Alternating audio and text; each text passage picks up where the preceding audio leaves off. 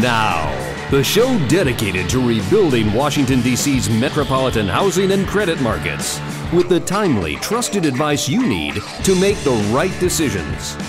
This is the Todd LaBorwit Show. Good afternoon. As your friend and host, Todd LaBorwit, I'm privileged to share every Saturday afternoon at 1 p.m. with you on the Todd LaBorwit Show, which is part of the Real Estate Radio Network here on Salem Broadcast, WRC 1260 AM. Well, right here with me now is Steve Rochkind, President of Area Appraisal Services. He's ranked top 10 real estate appraisal companies in the Washington, D.C. area. He does appraisal for single family residences, condominiums, and small residential income properties.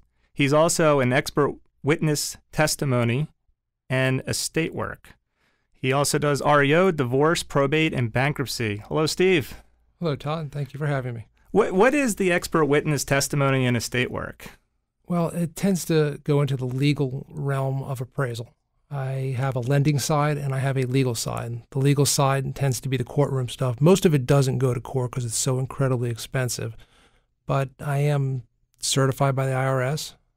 I am qualified as an expert witness in in Montgomery County, D.C., Virginia, a federal bankruptcy court. Oh, wow. So you got a lot of good stories, I'm sure. Yes, I've testified several times. Very nice. Well, what I'd like to do is rewind a little bit and go back to some basic questions for our listeners.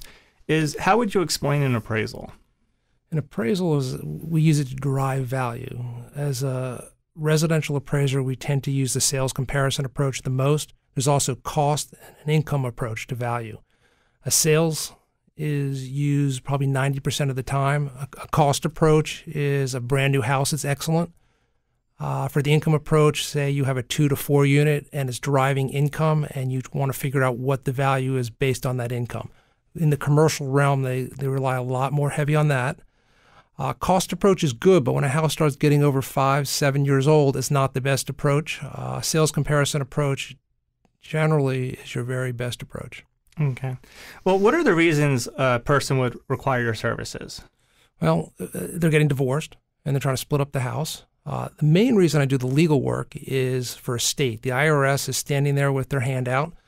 Um, the state of Maryland, they want to get a value, and you've got somewhere between three to three to nine months to get a value and all the paperwork in, and I'm a piece of that someone calls me for estate work, it's not like, oh, what are you charging? I mean, they know their attorneys told them they have to have an appraisal. And they just say, I was told to call you, and we go from there. Well, after completing an appraisal and you said divorce, uh, you got two sides. Some estates you have multiple sides because you got the kids involved. Uh, how do you guarantee that the final number is trustworthy? Or do they get more than one?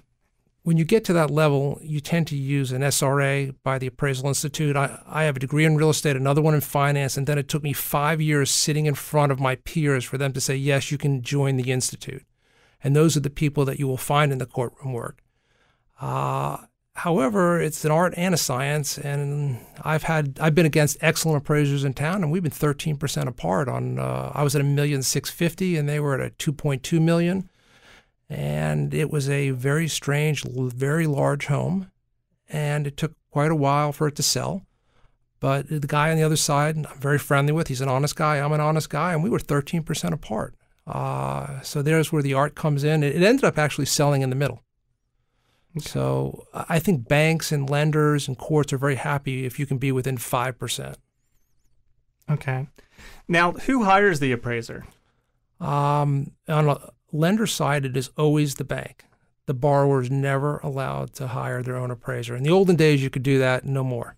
Right, the new rules and regulations. Yes, it's very different. And it's also great for the consumer. It is much better for the consumer. Um, the legal side, I, I like to have it ordered by the attorneys. I feel that it's a more credible report going to the IRS or the state or the CPA is fine, but I don't like generally when the owner calls me directly and wants to order it. I, I think it's better. It's better coming from a law firm or CPA. Okay.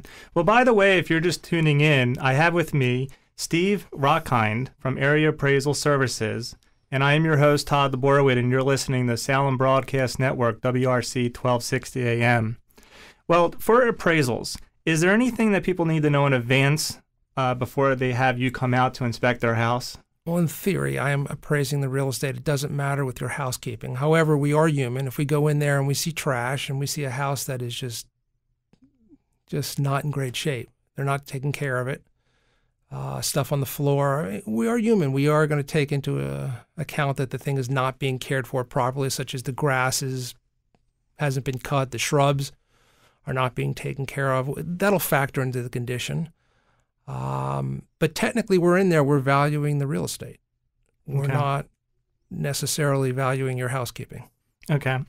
And as far as the appraisal, who has the rights? I know when we do a loan, we order the appraisal, we own it. They want a copy, they got to send a letter, uh, but we give it to everybody anyway. Um, as far as like the other services, divorce and estates, who owns the appraisal? The client.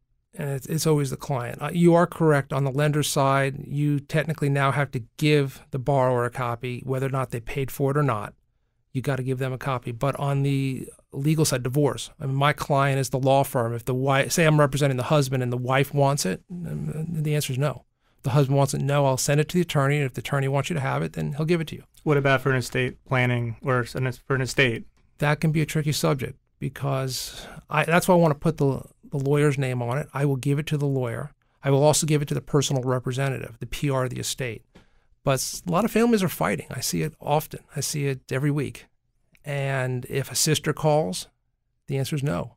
The answer is it goes to the PR or it goes to the attorney. So you know how to keep your hands clean. Yes. Got it. Well, uh, what I'd like to do is get into a question that I'm always been curious about, and that's the private mortgage insurance. And not talking about FHA, because that's completely different.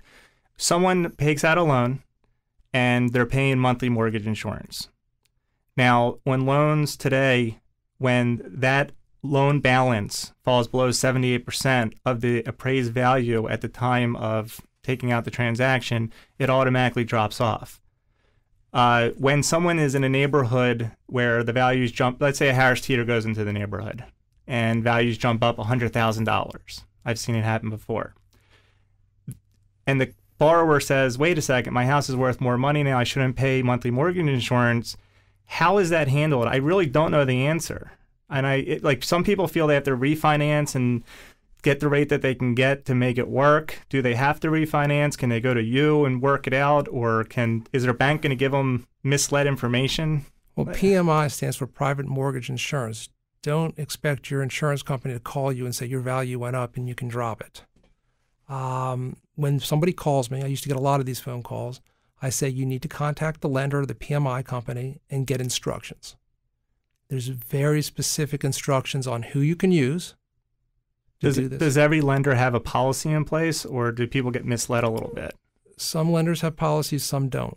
Um, some require certain appraisers to do it that are on their list. Some are not. So for them to call me directly is not good. They, I, as soon as they call me, I say, "Listen, you need to contact your lender and get the instructions, and then send them to me." I, I make, I want to make sure they're doing it right. You don't want to go through all this, pay for it, and then realize you didn't get what you you needed. And the same thing goes for your property tax assessment if the values drop. That is correct, but the county is not giving in. All my friends that are great appraisers out there, every one of them is losing these tax appeal cases. The Mm. county is not giving in. There's stage one, stage two, stage three. They may give you a few, like a few percent just to go away. Then stage two happens and you, you get nothing. And you, you got to take it to the point where it goes to a court and then you can. Wow. It's, and the it's money not it's- worth it. Someone right. calls me right now to appeal their taxes. I just say no. I said it's, it's not for me. Every one of my friends are losing these cases. I just advise them no. Great. Well, what I'd like to do is offer you, our listeners, an opportunity to get in touch with uh, Steve Rockin, Rochkind. Sorry about that. Uh, with Area Appraisal Services. If you call or text me, uh, Steve Rochkind, R O C H K I N D, at 301 467 8444. That number again is 301 467 8444. I can put you in touch with Steve to help answer some questions. Also, you have something very unique is on your website, uh, you have a value check. Can you explain that a little bit further before we close out? What happens is people used to call us and say, Can you give us a value? Or what do you think my house is going to appraise for before we do it? And as an appraiser, we can't do that.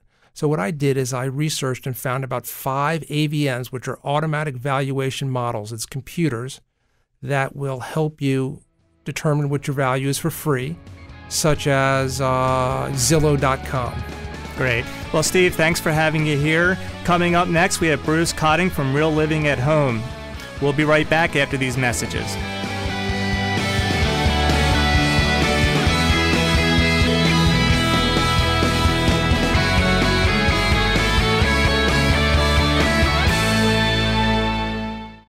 You don't go through life with a paralyzing fear every time you have a financial transaction.